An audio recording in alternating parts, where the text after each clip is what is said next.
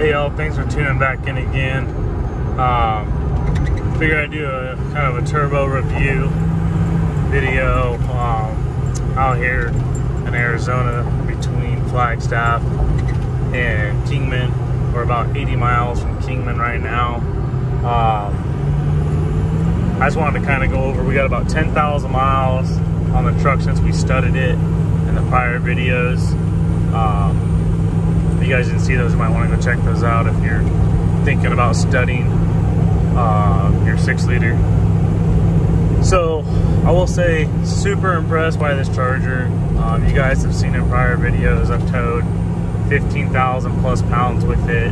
We've had, you know, two cars, you know, short, tall, way up in the air, um, all kinds of stuff with this turbo.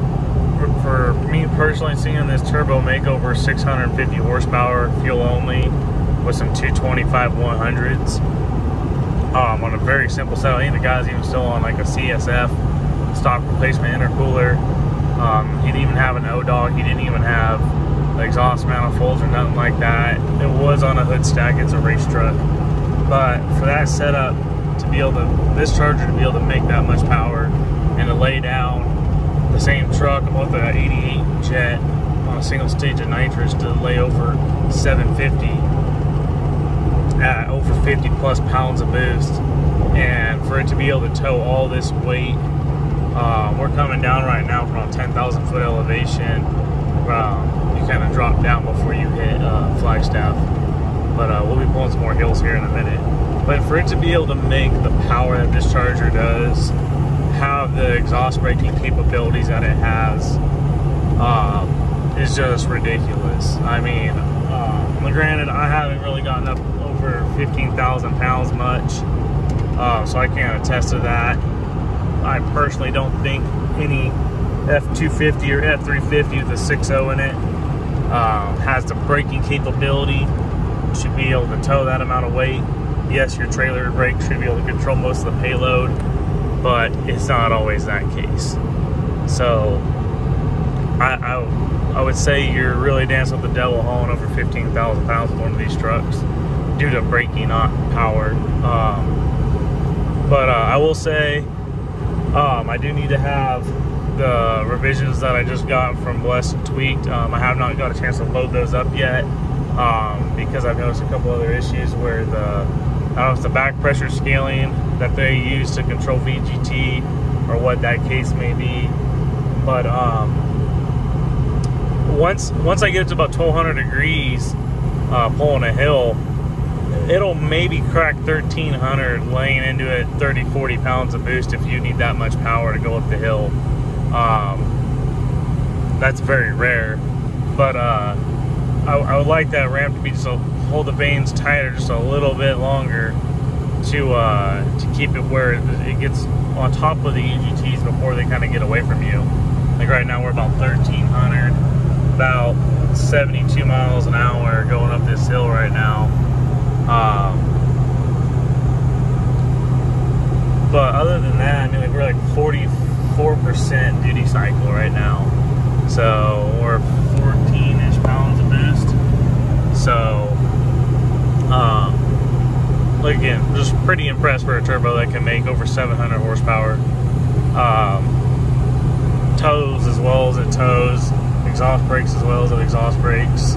Um, now, granted, this is the only Charger I ran from them. Um, I have been contemplating putting one of their smaller units on the two-wheel drive. Again, this four-wheel drive is not really meant to be an all-out tow rig. Uh, that's supposed to be more of my daily driver fun street truck um, that I can tow with if needed. Uh, the weight of the four-wheel drive and the height and all that is about two to three miles per gallon difference. And when that's your uh, when that's your bottom line on what you take home at the end of the day, it kind of uh, pays off having the two-wheel drive. So, I'm gonna have to talk to them about uh, trying out one of their smaller units. I also may call stainless diesel back and try out one of their five blade setups. Um, they prefer the 10 blades, and uh, that being that truck being such a small injector, at 155 stock, um, I might pull them and make them 175 stocks. But uh, I would like to try their 63 and a half on a 13 blade 66 millimeter turbine and see how that works out. Um, I've loved that setup in the past, the 66 millimeter 13 blade on a GT40. Um, uh, was it like Turbo America or whatever's kit off of eBay? I've ran that turbo a ton. It's great for 500, 520 horsepower on some 175 stock injectors. Stupid fun turbo. Um, so for for this charger to be as responsive as something like that and make the power they can make, hands down, would be my most recommended turbo for any of you guys that have a truck that you drive daily or not even daily that you know still needs to tow the camper to keep the wife happy and take the boat out to the lake or whatever. Um, I would definitely say to take a look over over at the guys at Turbo Time USA. Um, this is not a charger that would be their recommendation. Have you call them and say, "Hey, I want to get a turbo for my 6.0. You know what? What would you guys recommend?" Um, also, most people would not be recommending 19030s um, to be towing with as well. Uh, these Accurate Diesel 30% over nozzles are the first time I've ever used them. Uh, they run a bit hotter than, you know, they're a $350 set of nozzles, so they're gonna run hotter than a set that's 550 bucks like River City Diesel's nozzles or um, oh, I forget what else it was. Uh, I but I mainly prefer Dynamite. Um, Bitterroots makes a decent nozzle. Um, I've ran their 75 uh, percent over nozzles, but in retrospect, they're 75% over nozzles, uh, their Bitterroots, I believe they're $450. I have personally spent $850 on a set of nozzles from Dynamite that are their super metal. So it's a custom eight hole nozzle setup and everything. And those are some bitchin' ass nozzles. Um, I've taken the same 175, 75, or 175 injector stock nozzle. All I did was swap nozzles. I did not change the tune. I did not change the turbo. I did not change anything. And for that setup to literally um, run the same EGTs on a stock O3 charger, that might have been 50 degree difference. Um, and that's probably pushing it that's that is so ridiculously impressive. Um, you got a lot of people right now. Uh, I believe Power Driven just did some testing. They didn't come out and say they were Dynamite's nozzles, but Dynamite's the name of the game when it comes to diesel injectors and nozzles and everything right now. Them guys are ridiculous uh, with how great they are when it comes to everything. So I'll definitely be probably trying to swap those out here pretty soon and get going on them and giving them a shot. Um, I just these these nozzles are awesome for what they are, but I definitely think they uh, they could definitely uh, be a little bit better. But for most of you guys aren't gonna need perfect EGT control towing like what I'm towing and stuff of that nature, they'll be perfectly fine. Uh, but to give this better charger a little bit better shake at, kind of seeing what it's truly capable of and how well it controls everything, I definitely want to get a higher quality nozzle on the truck. Because um, that's kind of, you kind of have a really crappily cut nozzle, and if, and if you guys want to kind of get what I'm coming from on that, uh, Lonnie over at Dynamite Diesel, go check out their YouTube channel. They do an amazing job with their like 300 time microscope showing the difference in nozzles and the way that the they're honed. Um, Josh over at Horse Torque Diesel has went in length about it. Um, like I said, the guys over at Power Driven, where Josh used to work, they just did a bunch of testing on a 12 valve. They picked up over 100 horsepower and dropped a ton of EGT while picking up a ton more power all off a nozzle. They did not change a damn thing on the truck. Um, and they actually went to a much bigger nozzle and much bigger injector.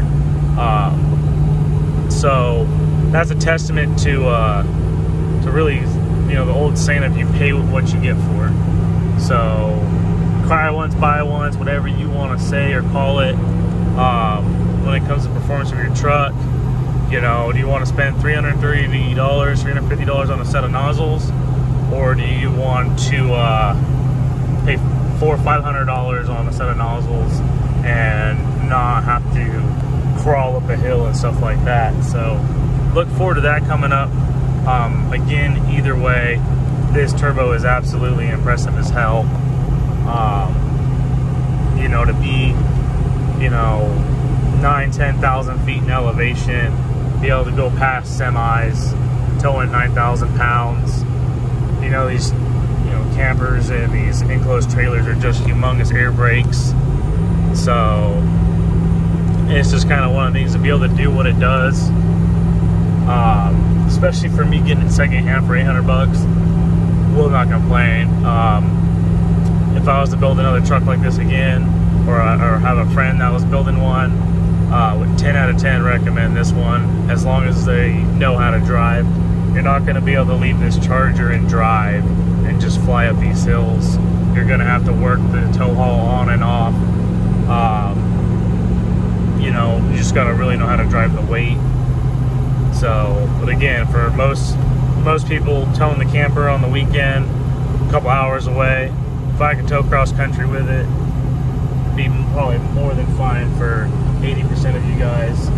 Um, you know, want to mess around with your buddies with Camaros and, you know, Mustangs and whatnot, it'll do that too and, you know, tow the boat, jet skis, whatever.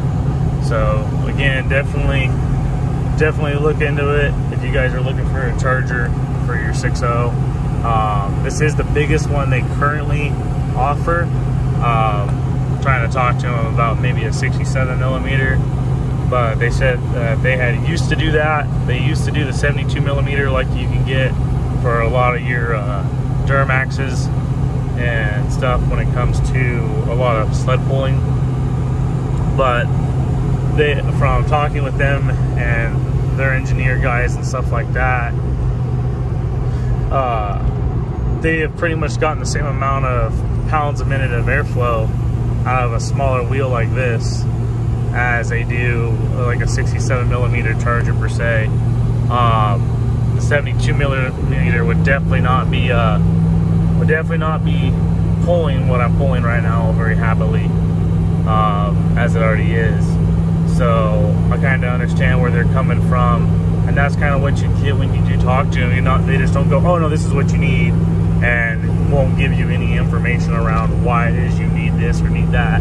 You know, they will they will sell it to you with with full information uh, versus just being a typical salesperson be like oh this is the best for you this is what you need so um, like I said look forward to uh, hopefully I'll be off in a week and uh, I'm gonna get a set of nozzles ordered up and we'll get those swapped over onto these 190s um, might go bigger uh, and a higher quality uh, might stay the same and uh, try out like a set of 45% over super metals. Um, that's what I was really wanting to try after my 75s from Dynamite. So look forward to that, guys. Um, hope you enjoyed a little bit of this clip. Like I said, we're probably back up around 10,000 foot elevation. But for Arizona, this is uh, this is definitely some pretty uh, nice scenery. It's nice that it's cool out and overcast. Monsoon season out here right now. So take care, and I'll see you guys on the next one.